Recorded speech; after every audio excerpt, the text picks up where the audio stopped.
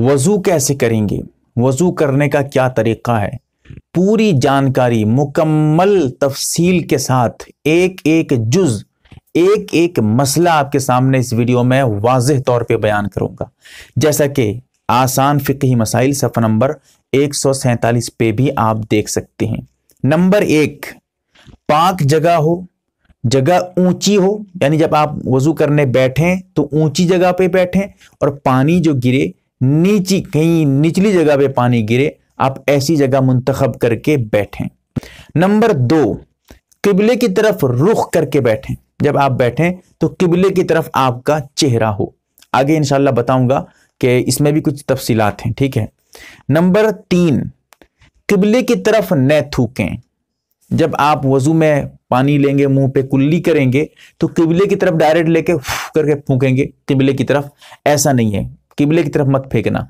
जब आपको फेंकना हो, पानी कुल्ली करना हो, आप अपने मुँह को नीचे कर लीजिए, सर को झुका लीजिए और नीचे की तरफ़ थूकिए। नीचे की तरफ़ कुल्ली करिए। यह तरीका आपको याद रखना है। इस पर लोग बहुत ज़्यादा गलती करते हैं। आप देखें जब वज़ू करने कोई बैठता है, आमतौर पे मस्जिदों में जब वज़ू के लिए लाइन लगा के बैठते हैं, उस वक्त देखिए कि किबले की तरफ़ कितने हजरात थूकते हैं, यानी कुल्ली करते हैं। ये गलत है, मकरू है। और नंबर चार खड़े होकर वज़ू नहीं करें, किसी जगह बैठकर वज़ू करें। अगर कहीं जगह नहीं मिले, ज़रूरत ऐसी हो कि खड़े होकर करने की ज़रूरत हो तो आप खड़े होकर भी वज़ू कर सकते हैं। खड़े होकर वज़ू करना भी जायज़ है, लेकिन बेहतर है बैठ के वज़ू करना। लेकिन आप आजकल जो घर, घरों पे लगाते हैं, बेसन वसन क्या होता है जो ऊपर वज़ू हाथ पाथ धोते हैं तो वहीं पर खड़े खड़े वज़ू कर लेते हैं। जायज़ है, लेकिन बैठ के वज़ू करना चाहिए। ये बेहतर है, अल्लाह के रसूल को पसंद था। और नंबर पाँच, वज़ू करते वक्त दुनिया की कोई भी बात नहीं करें। कोई भी दुनियावी बातें इधर उधर की बातें बिल्कुल नहीं करें। हाँ ज़रूरत हो। मिसाल के तौर पे आपको कोई बुला रहा है, आप कह सकते हैं कि वज़ू करके जा रहा हूँ, या कोई आपको आके ढूंढ रहा है, आप घर पे हैं, कह सकते हैं, भाई, वज़ू कर रहा हूँ, बैठे रहो, मैं जा रहा हूँ। या कोई ज़रूरत है। ज़रूरत के वक्त आप बात कर सकते हैं, वरना बिला ज़रूरत बात न करें। और नंबर छह, वज़ू के दरमियान सलाम, आप सलाम नहीं करें। आपको अगर कोई सलाम कर दे, आप अगर दुआ वगैरह नहीं पढ़ रहे हैं, सिर्फ़ पैर हाथ धो रहे हैं, वज़ू की तरह जिस तरह वज़ू करते हैं, वैसे ही धो रहे हैं, वज़ू कर रहे हैं तो आप जवाब भी दे सकते हैं, लेकिन जवाब देना कोई ज़रूरी नहीं है। अगर आप जवाब देना चाहें तो दे सकते हैं। अगर दुआ पढ़ रहे हैं तो फिर दुआ पे लगे रहें, जवाब देने की वहाँ ज़रूरत भी नहीं है आपको। और इसी तरह अजान, वज़ू करते वक्त अजान की जहाँ तक बात है, जरा इसको समझिएगा। बहुत बारीकी के साथ आपको बता रहा हूँ। अगर अजान हो जाए, एक काम करें, आप वज़ू को मौकूफ करते हैं, पहले अजान का जवाब देते हैं। क्योंकि वज़ू आप बाद में भी कर सकते हैं। लेकिन अगर अजान खत्म हो जाए, कुछ देर गुजर जाए तो अजान का आप जवाब नहीं दे सकते। अजान के जवाब की जो फजीलत है, जो उसका सवाब है, आप उससे महरूम हो जाएँगे। तो दिमाग लगाकर ऐसा काम करना है आपको कि जिससे अजान के जवाब का सवाब भी मिल जाए, वज़ू भी हो जाए। तो क्या करेंगे? दोनों काम तो एक साथ करना बहुत मुश्किल है। वज़ू भी करते रहें, दुआ भी वज़ू की पढ़ें, फिर उधर अजान का जवाब भी दें, मुश्किल हो जाएगा। इसीलिए आप अजान का जवाब दे दीजिए, फिर वज़ू करिए। वरना आप अगर वज़ू कर रहे हैं, अजान हो जाए तो जवाब भी दे सकते हैं वज़ू करते हुए। लेकिन अगर जवाब नहीं देंगे, सिर्फ़ वज़ू करेंगे, ये भी जायज़ है, कोई दिक्कत की बात नहीं। और नंबर सात, किसी दूसरे से मदद न लें। मदद लेने की बात जैसे कोई लोटा लेकर पानी आप पे डाल रहा है, आप वज़ू कर रहे हैं, ये मना है। हाँ अगर आप कहीं ट्यूबवेल वेल है, कोई मार के आपको पानी दे रहा है ये तो बस एक ज़रूरत की बात है, आप वहाँ इस्तेमाल कर सकते हैं। इसी तरह किसी को कह सकते हैं कि भाई लोटे पे पानी लेके आ जाओ, वज़ू करूँगा मैं। वो आपका शागिद वगैरह था या कोई आपका पहचाने वाला था, वो एक लोटा पानी ला दे दिया आपको वज़ू के लिए। इसमें कोई दिक्कत नहीं। दिक्कत उसमें है कि आपको कोई वज़ू में ही मदद करे। मिसाल के तौर पर आप पानी डाल रहे हैं, वो आपके हाथ को रगड़ रहा है।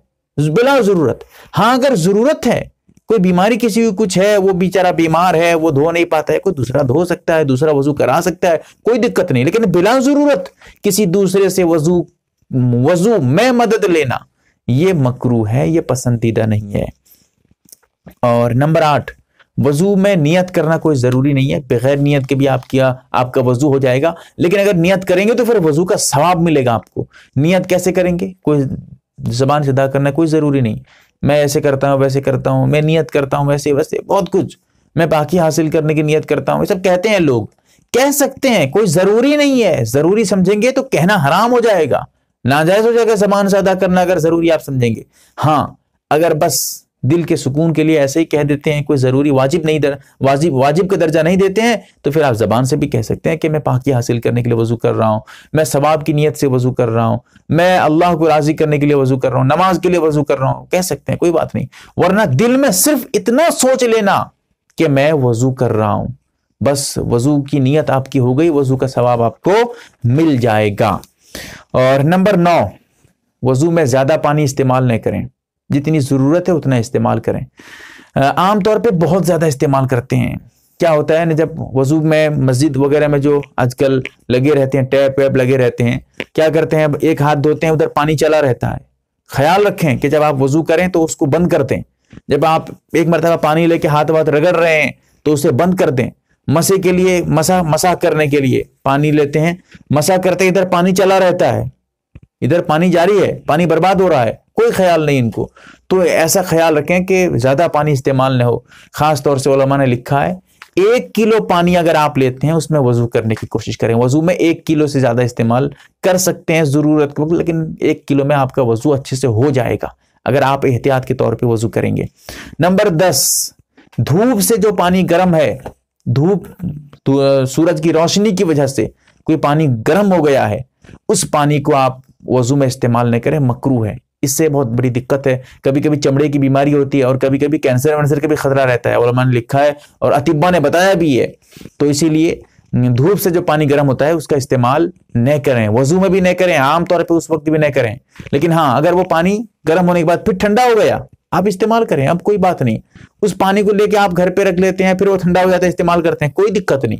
लेकिन जब गर्म है, तब इस्तेमाल न करें। और नंबर ग्यारह जब आप कोई भी हिस्सा धोएँगे तो उससे पहले जैसे आप हाथ धोते हैं, कुल्ली करते हैं, नाक पे पानी डालते हैं, चेहरा धोते हैं, सब करते हैं आगे आपको बताऊँगा, हर इससे पहले बिस्मिल्लाह पढ़ें। बिस्मिल्लाह, हाथ धोना शुरू करें। बिस्मिल्लाह, कुल्ली। बिस्मिल्लाह पढ़ के कुल्ली करें। बिस्मिल्लाह कह के नाक में पानी डालें। तो हर उजू को, हर हिस्से को धोने से पहले आप बिस्मिल्लाह पढ़ा करें। लोग बिस्मिल्लाह के साथ आउजुबिल्ला भी पढ़ देते हैं। आउजुबिल्ला शैतान रजीम। बिस्मिल्लाह रहमान रहीम। फिर वज़ू। हर वज़ू, नहीं, सिर्फ़ बिस्मिल्लाह उजबिल्ला मत पढ़िएगा।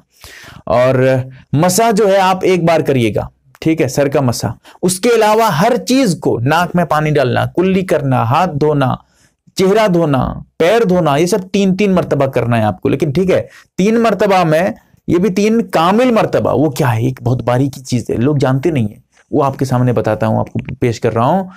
एक मरतबा पानी लेकर हाथ को धो देते हैं, कहीं पर जरा सूखा रह गया फिर आप दूसरी मरतबा लेकर धोते हैं, वो सूखा आपका मुकम्मल हो जाता है। अब समझिए कि एक मरतबा हुआ ये, यानी एक मरतबा आपका उस वक्त होगा कि जब पूरी तरह से, अच्छी तरह से धो लेंगे, हर जगह पानी पहुँच जाएगा तो अब एक मरतबा हुआ। फिर से एक मरतबा लेकर धोइए अच्छी तरह से, हर जगह पानी पहुंचाइए। अब आपका दूसरी मरतबा हुआ। ये जो तीन मरतबा धोने की बात है, ये तीन मरतबा उस तरह कामिल मरतबा, लोग जानते नहीं है, बस उठा के धो लिए। फिर धो लिए। तीसरी मरतबा में हर जगह पानी पहुँच गया, समझ लिए तीन मरतबा। अब कहाँ तीन मरतबा हुआ भाई? समझिए। तो इसीलिए कामिल मरतबा, तीन मरतबा धोने की कोशिश करें हर वज़ू को। लेकिन मसा जो है, सिर्फ़ एक मरतबा, यानी सर का मसा, गर्दन में जो करते हैं, कान का मसा जो मसा है, ये सिर्फ़ एक बार मसा करना है आपको। आगे बताऊँगा तफसील इसमें। और उसके साथ ये भी आपको समझना पड़ेगा, एक वज़ू, यानी जो हिस्सा है, एक वज़ू ये खुश्क होने से पहले, सूखने से पहले दूसरे को धो लीजिए।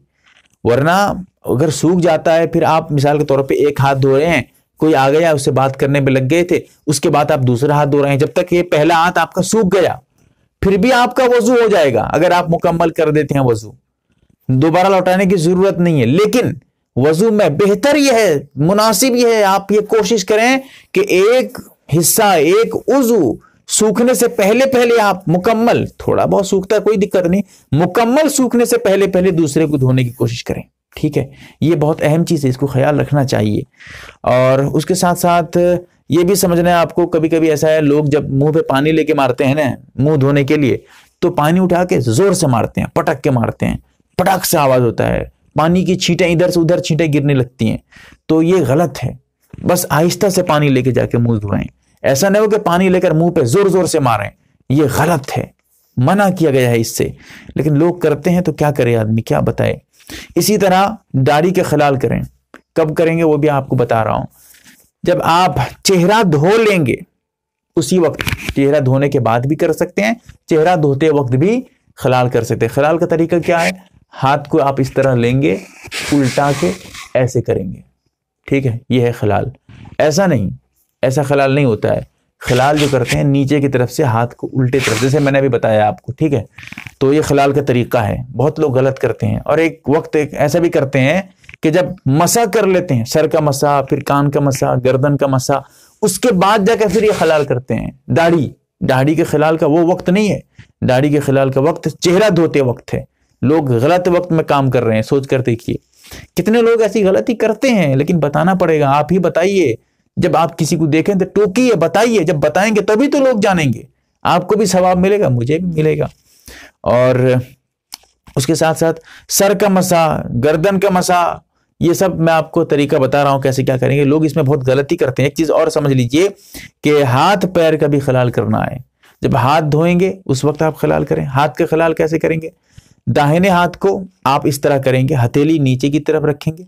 अब इसको उंगलियों को इस तरह चौड़ा कर देंगे, ठीक है? बाएँ हाथ को उसको ऊपर इस तरह रख देंगे। अब इस तरह कर देंगे, ये खलाल। फिर उसके बाद बाएँ हाथ का खलाल, ऐसे। ये हो गया, दाहिने हाथ, बाएँ हाथ का खलाल। एक एक बार, ज़्यादा करने की ज़रूरत नहीं। पैर का जो खलाल करेंगे वो कैसे? बाएँ हाथ की जो छोटी उंगली है, उस उंगली से करेंगे, वो कैसे? दाहिने पैर की जो छोटी उंगली और उसके साइड वाली उंगली का बीच है, जैसे मिसाल के तौर पे ये पैर है, समझिए। हाथ है, लेकिन मैं मिसाल दे रहा हूँ, ठीक है? ये समझिए इसको पैर है। अब जो खिलाल करेंगे, वो यहाँ से शुरू करेंगे, ऐसे। फिर उसके बाद ऐसे। फिर उसके साइड वाली उंगली का, फिर उसके साइड वाली उंगली का। फिर जब बाएँ पैर को आएँगे तो सबसे पहले मोटी मोटी उंगली जो होती है, उसके साइड से करेंगे। इस तरह समझिए, उलट जाएगा तो इधर से हो जाएगा। फिर ऐसे ऐसे। करते करते यानी दाहिने पैर की छोटी उंगली से खिलाल पैर क्या पैर के खिलाल शुरू करेंगे तो बाएँ पैर की छोटी उंगली में खत्म करेंगे। ये कहने का असल मकसद था मेरे। और वज़ू में तरतीब का ख्याल रखें। तरतीब ज़रूरी नहीं है लेकिन ख्याल रखना चाहिए। जैसे पहले जो जो है हाथ धोना है फिर उसके बाद चेहरा धोना है कुल्ली नाक में पानी जो तरतीब है उसका वो आपको आप, आपको बता रहा हूँ वैसे ही करिए। अगर उल्टा सीधा करेंगे तब भी आपका वज़ू हो जाएगा। मिसाल के तौर पे कोई सबसे पहले चेहरा धोता है फिर उसके बाद जो है पैर धो देता है फिर मसा करता है तब भी वज़ू हो गया। लेकिन बेहतर वही है सुन्नत वही है जिस तरीके से मैं बता रहा हूँ। तरतीब वार अब समझिए तरतीब वार क्या है। सबसे पहले हाथ को यहाँ तक धोना है दोनों हाथ को पानी लेकर धोइए। दोनों हाथ को तीन मरतबा गट्टों तक। फिर उसके बाद तीन मरतबा कुल्ली करें। कुल्ली में अगर आपसे हो सके तो गरारा अगर वजूदा आप रो, रोजेदार नहीं है रोजा आपका नहीं है तो फिर गरारा, जो पानी में मुँह में लेके गरगरा करते हैं घर करते रहते हैं तो ये गरगरा करने की कोशिश करें मुँह में पानी लेके। तो और मिसवाक हो तो मिसवाक से अपने दांत को साफ़ करें। मिसवाक करने की फजीलत भी बहुत ज़बरदस्त है। वज़ू में जो मिसवाक आप इस्तेमाल करते हैं, जिस वज़ू में आप मिसवाक करके वज़ू किए होंगे उसमें उस वज़ू से अगर नमाज़ पढ़ेंगे, उसकी फजीलत अलग हो जाती है, सवाब में ज्यादती हो जाती है। वज़ू में जब आप खलाल कर, वज़ू में जब आप मिसवाक करते हैं तो उसकी फजीलत बढ़ जाती है। आमतौर पे ऐसे भी मिसवाक कर सकते हैं, कोई दिक्कत नहीं। लेकिन वज़ू की अलग अलग बात है। तो इसीलिए वज़ू में मिसवाक करिए जब आप मुँह धोते हैं, कुल्ली करते हैं। फिर उसके बाद मुँह को अच्छी तरह से साफ़ कर लीजिए। उसके बाद तीन तीन मरतबा करिएगा। फिर तीन मरतबा नाक में पानी डालिए। कैसे? दाहिने हाथ से पानी डालेंगे। बाएँ हाथ से नहीं, दाहिने हाथ से पानी अंदर डालेंगे नाक के और ये जो छोटी उंगली है इसे साफ़ करेंगे। ठीक है? ऐसे दोनों उंगली यहाँ अंदर घुसा के सुराख में आप साफ़ कर सकते हैं, या फिर ऐसे भी लोग साफ़ करते हैं। लेकिन ये छोटी उंगली इस्तेमाल करते हैं, क्योंकि ये अच्छी तरह से अंदर उंगली जा सकती है। इसीलिए इस उंगली का इस्तेमाल करें तो बेहतर है, क्योंकि नाक में जो मैल कुचेल है, वो दूर हो जाए, वो साफ़ हो जाए। इसकी भी एक बहुत बड़ी वजह है, क्योंकि घर पे अगर आपके पास कोई मशीन है, वो मशीन अगर आप साफ़ नहीं करेंगे तो धूल जमते जमते वो जगह खराब हो जाती है, वो मशीन ही आपकी खराब हो जाएगी। तो ऐसे ही नाक भी एक सांस लेने की मशीन है। अगर आप इसको साफ़ नहीं करेंगे तो यहीं पर जो है गंदगी जमते जमते इससे बीमारियाँ पैदा होते होते ये मशीन ही आपकी खराब हो जाएगी। तो इसीलिए इसको समझना है आपको। तो वज़ू में आप उसको अच्छी तरह से साफ़ करें, लेकिन दाहिने हाथ से नहीं। दाहिने हाथ से नहीं, बाएँ हाथ से करना है। दाहिने हाथ से पानी डालना है, बाएँ हाथ से साफ़ करना है। नाक झाड़ना हो, झाड़ते जो है, ऐसा भी आप झाड़ सकते हैं अच्छी तरह से। फिर उसके बाद तीन मरतबा, चेहरा धोइएगा। चेहरा धोने के लिए पानी मत मारिएगा, सिर्फ़ चेहरा लेके पानी चेहरे पे पहुंचाना है। पानी ज़ोर से मारते हैं, फटाक से। ये नहीं करना है आपको। तीन मरतबा चेहरा। फिर उसके बाद तीन मरतबा दाहिने हाथ को धोना है। ठीक है? केहनियों समेत। केहनियों, इसको भी अच्छी तरह से धोना है। ये सब जा, जो है आपका सर्दी के मौसम में सब खुश्क रह जाता है। अच्छी तरह से पानी पहुंचाइए हर जगह। तीन मरतबा। फिर उसके बाद तीन मरतबा, बायां हाथ धोइए। अब उसके बाद मसा करना। मसा के लिए लोग अपनी तरह अपने तरीके से करते रहते हैं। क्या? तीन करते हैं। तीन उंगली को इस तरह बनाते हैं। ये छोटी दोनों उंगली को अलग करते हैं। ये मोटी आ, मोटी उंगली जो होती है दोनों हाथ की इसको भी अलग करते हैं। ऐसे लेके जाते हैं फिर ऊपर से घुमा के हथेली की तरफ़ से साइड से लेके आते हैं। ये गलत तरीका है ऐसा नहीं है। अल्लाह के रसूल सल्लल्लाहु अलैहि वसल्लम का जो तरीका है वो ये है कि आप सलाम हाथ दोनों हाथ को ऐसे ही कुछ करने की ज़रूरत नहीं ऐसे ही सीधा हाँ मसा के लिए नया पानी लेना अलग से ज़रूरी नहीं है लेकिन बेहतर है कि नया पानी कैसे लेंगे? पानी लेकर मसा नहीं करेंगे। पानी सिर्फ़ लेकर हाथ धो लीजिए फिर आप लेके जाइए। हाथ धोना मतलब है पानी बस हाथ पे लेके पानी छोड़ दीजिए। आप, आपका हाथ गीला होना चाहिए। अब उस गीले हाथ को लेकर आप सर के शुरू हिस्से में ऐसे रखेंगे ऐसे ही ले जाएँगे खींचते हुए। बिल्कुल गर्दन तक, यानी गर्दन के जहाँ तक बाल रहते हैं सर पे, फिर वहाँ से वैसे ही घुमा के लेके आ जाएँगे। बस, मसा आपका हो गया। उसके बाद आपको कान का मसा करना है। कैसे? सबसे पहले कान में दोनों छोटी उंगली, दोनों हाथ की छोटी उंगली, दाहिने हाथ की, दाहिने कान में, बाएँ हाथ की छोटी उंगली, बाएँ कान के अंदर घुसा दीजिए। फिर जो कान की पंखुड़ियाँ हैं, उस पे ऐसे आप घुमाते घुमाते जो उसकी बनी हुई है, उसका रास्ता बना हुआ है, ऐसे ही घुमाते घुमाते लाइए, क्योंकि ये भी एक मशीन है। अगर इसको आप साफ़ नहीं करेंगे, यहाँ धूल जमते जमते या बीमारियाँ पैदा हो जाएँगी मशीन आपकी खराब हो सकती है। तो इसीलिए आप इसको फिर साफ़ करें, फिर उसके बाद इस उंगली से, नीचे की तरफ़ से ऐसे, आप यहाँ से ऐसे कान के बाहर वाला भी मसाक करें, ठीक है? कान का भी मसा करना है आपको, ऐसे एक बार, सर का मसा भी एक बार लेके जाएँगे, लेके आ जाएँगे, बस। और कान का मसा भी अंदर इस तरह घुमा के, यहाँ से ऐसे लेके आके, ऐसे लेके आके, ऐसे हो गया। उसके बाद आप इसका, ठीक है? कुछ आदमी ऊपर से भी लेते हैं, कुछ नीचे भी, नीचे से भी लेते हैं। नीचे से लेना, ये ज़्यादा मुनासिब है, क्योंकि मैंने ओलमा को देखा है बड़े बड़े अकाबिर को देखा है। फिर उसके बाद हाथ को ऐसे उल्टा देंगे, पीछे की तरफ़ से, ठीक है? हथेली की तरफ़ से नहीं पुष्ट की जानिब से।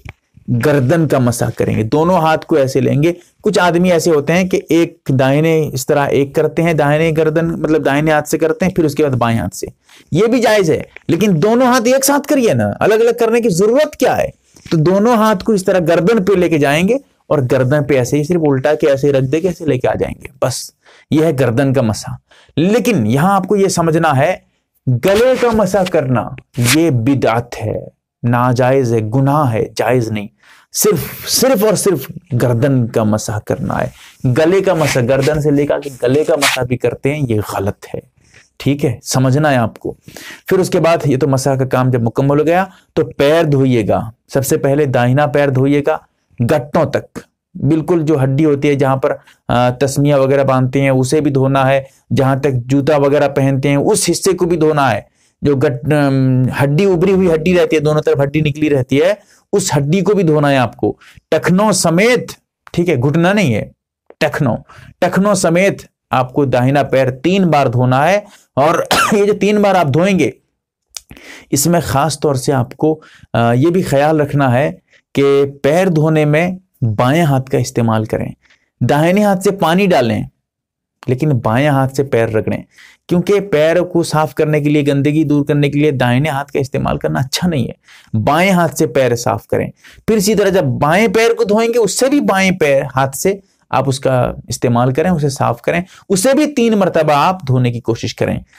तो ये जो ये जो है वज़ू करने का मैंने मुकम्मल तरीका आपके सामने पेश किया है। रही ये बात कि वज़ू की दुआएँ, वज़ू से पहले, बाद में, बीच में, ये सब दुआएँ हैं। और ये बहुत लंबी बातें हैं। तकरीबन 15-20 मिनट सिर्फ़ दुआ बताने में लग जाएगा। इसीलिए मैं इसको छोड़ रहा हूँ इनशाला अगली वीडियो में कभी दुआ के बारे में पूरी मुस्तकिल वीडियो मेरी आएगी। अल्लाह से दुआ करें कि अल्लाह ताला हमें अमल की तोफीक दे। आमीन या रब्बल आलमीन। आप देख रहे हैं यम ए आर बी दीनी मालूम यूट्यूब चैनल। चैनल को सब्सक्राइब करें, वीडियो को लाइक और शेयर करें। फेसबुक ट्विटर इंस्टाग्राम और टेलीग्राम पर आप हमें फॉलो कर सकते हैं। हमारी वीडियोस आप अपने चैनल पर डाल सकते हैं। हमारी तरफ़ से इजाज़त है। हमारे साथ व्हाट्सएप पर जुड़ने के लिए आप अपने व्हाट्सएप से अपना नाम और फुल एड्रेस के साथ ऐड लिखकर हमारे व्हाट्सएप नंबर एट को मैसेज करें। और हमारा काम पसंद आए तो गूगल पे फ़ोन पे या बैंक अकाउंट के ज़रिया मदद कर सकते हैं।